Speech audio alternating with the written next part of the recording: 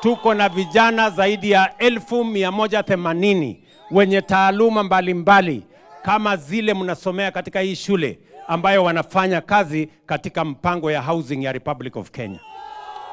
Ile kitu mimi nataka niwa, niwaambie vijana wetu ya kwamba hiyo program ya housing by next year itakuwa inaajiri vijana elfu mia tatu.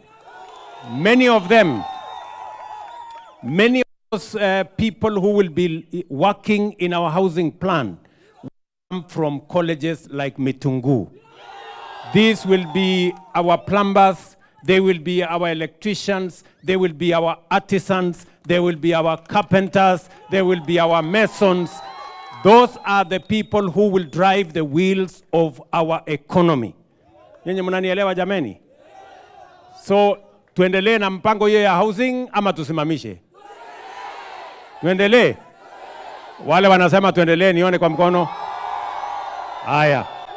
And I want to assure the young people in the Republic of Kenya, we have close to half a million young people in various TVETs across the Republic of Kenya. We have more in our universities. And we, I want to assure them that the government of Kenya has a plan for them. And it is deliberate and it is intentional so that we can give them opportunities to work around Kenya and to monetize their skills and their talents and contribute to the development of our country.